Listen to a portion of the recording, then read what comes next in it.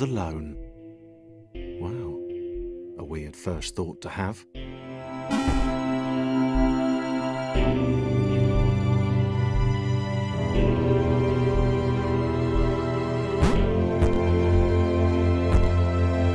Thomas decided to start listing his observations for posterity. 1. The whole alone thing. 2. Portals. They led somewhere. He'd yet to work out where. 3. Falling. Thomas was absolutely fantastic at falling. He was almost as good at falling as he was at observing.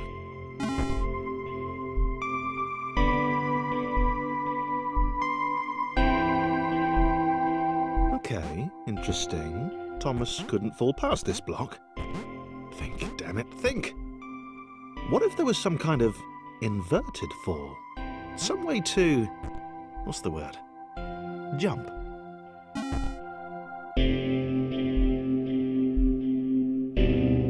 A big jump. But Thomas noted there was no real danger in missing it. The world didn't want him to fail here, it was pushing him, but gently.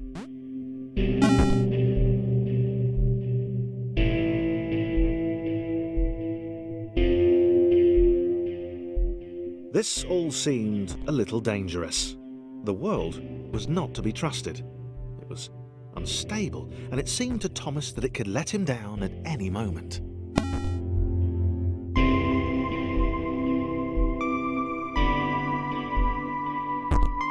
Thomas wondered whether the portals were actually taking him anywhere. He felt like he was making progress, but there wasn't really any way to know.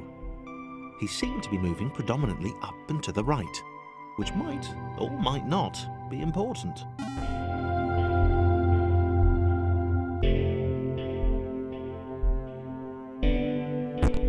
It might have been paranoia again, but Thomas could have sworn the world was becoming more complicated. It always seemed to be one step ahead of his skills.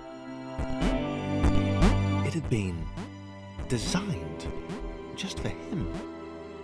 He wondered why. Was the world testing him? No, too obvious.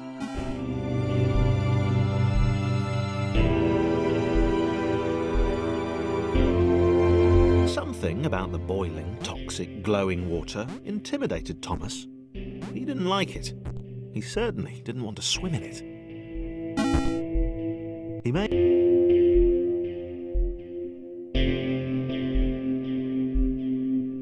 The loneliness was getting to Thomas. No amount of observation or obsessive note taking could combat that.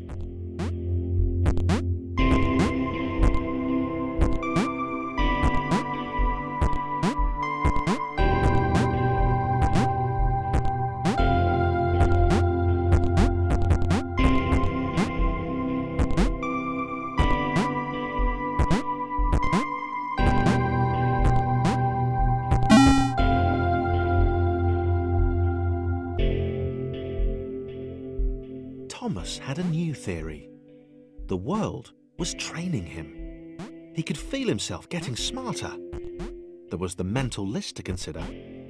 Over the minutes and seconds since his spontaneous generation, he'd become a pretty skilled jumper. He was evolving. He just wished he had someone to share it with.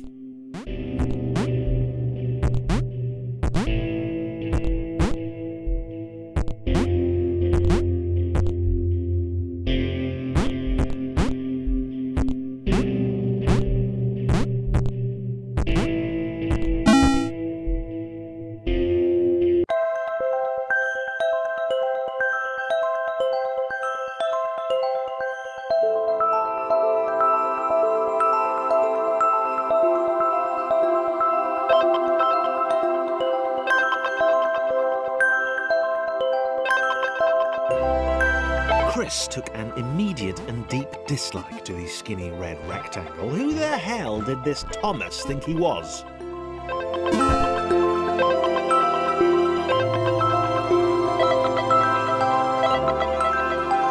Chris had been doing fine. He wasn't the highest jumper, but he'd held his own. He'd even been graceful at times. Well, not actually. Not technically graceful, it's probably, probably the wrong word, but you know, fine. There was that skinny little runt leaping about like he owned the place.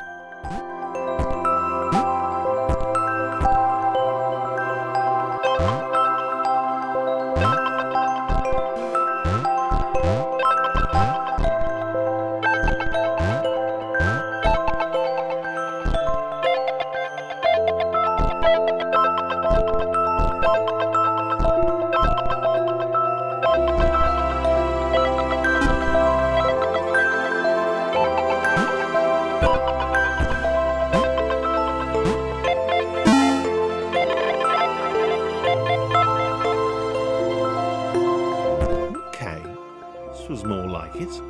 A glowy white thing. Only Chris could get to it, which of course made it all the more enticing. What would it do? What new opportunity might this switch open up to him? Great, great. Another chance for Thomas to jump slightly higher than Chris. How fortunate. Seriously, this made the whole switch pressing thing entirely worthwhile.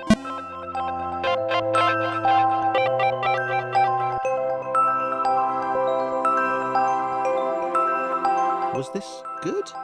Because on the surface, it did not seem good. Chris was pretty scared. Little Red seemed fine, happy to be on his merry little adventure. Chris couldn't shake the feeling that things had taken a significant turn for the worse since Thomas had joined him.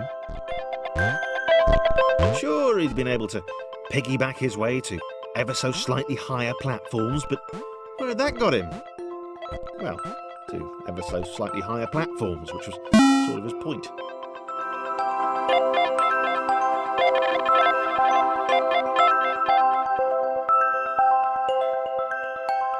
Chris stared at Thomas with pure hatred. He seemed so very happy at their situation. Friends together, a brave fellowship of quadrilaterals on a quest for greatness. That would be fine. But it was all the obvious observation that Thomas was doing which grated. Every time they saw something vaguely new, Chris would hear a satisfied little hmm from the vaulting idiot.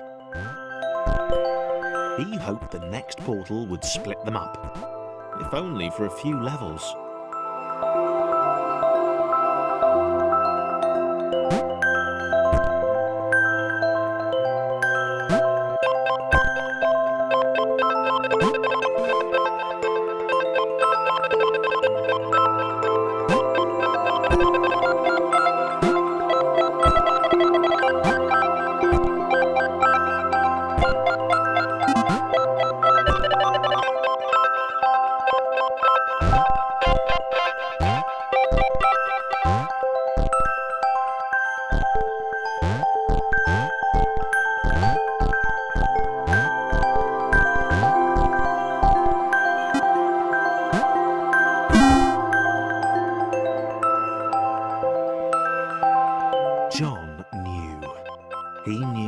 This was his chance, a moment to shine.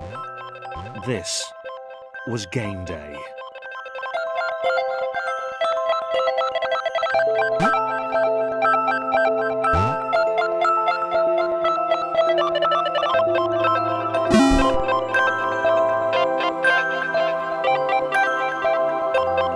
This would not do. John needed room to show off his exceptional skills.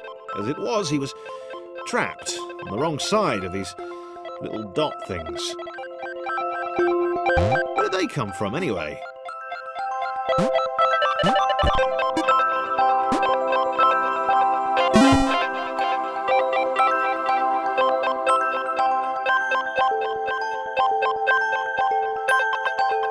Ah, John inhaled the air of the open space, and it smelled of awesome.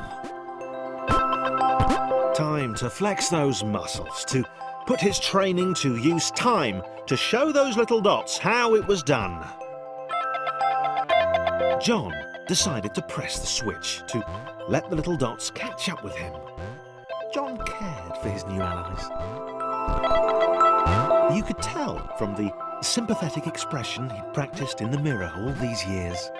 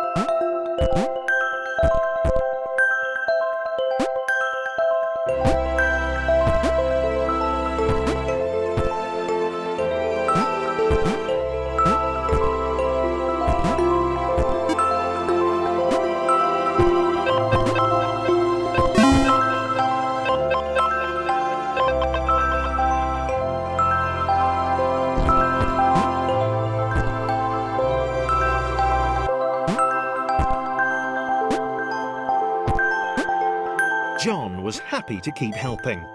He felt it was important to his image that he was seen to help the little guys.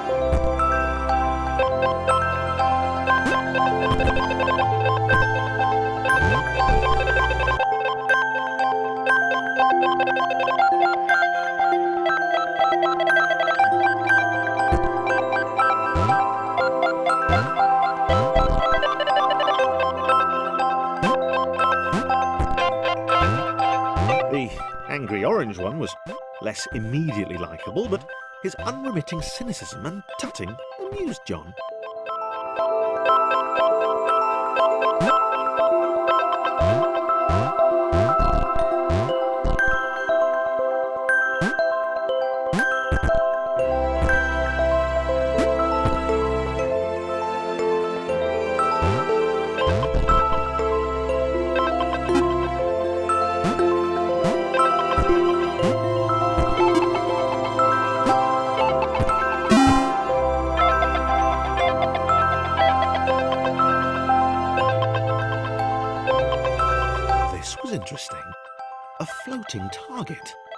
This would require coordination, balance, and timing. John was sure the dots would be lost, but he was happy to guide them to triumph.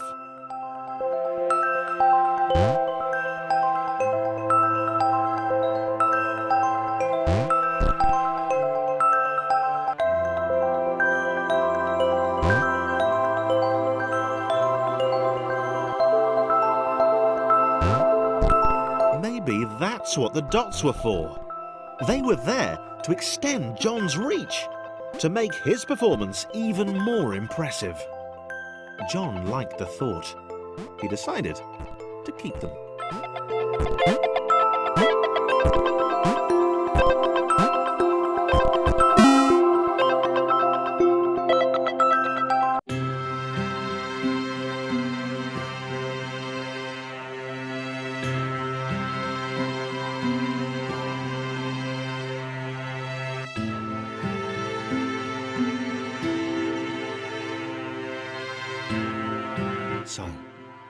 This was how Claire would die. She knew it would happen eventually. She was rubbish at jumping, and she moved slowly. She felt a little like her continued existence was breaking some kind of natural order. The crumbling pillar was a dramatic death, she supposed. Wait, what? Claire couldn't shake the feeling that she was not, in fact, dead. It was at that moment that Claire realised she had superpowers.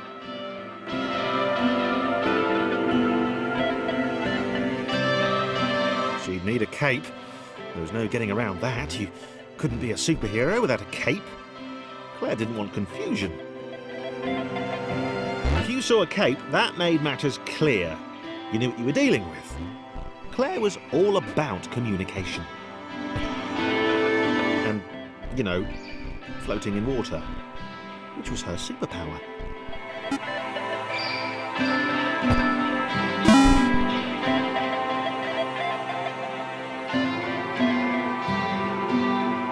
All right.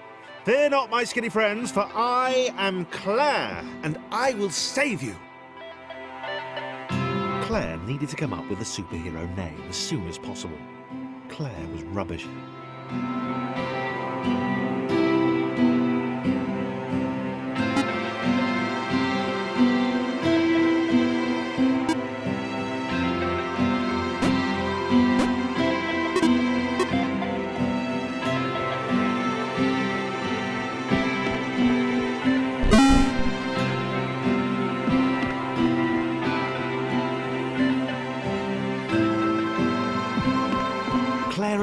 Arrived just in time, which was, of course, the perfect moment for superheroes to arrive.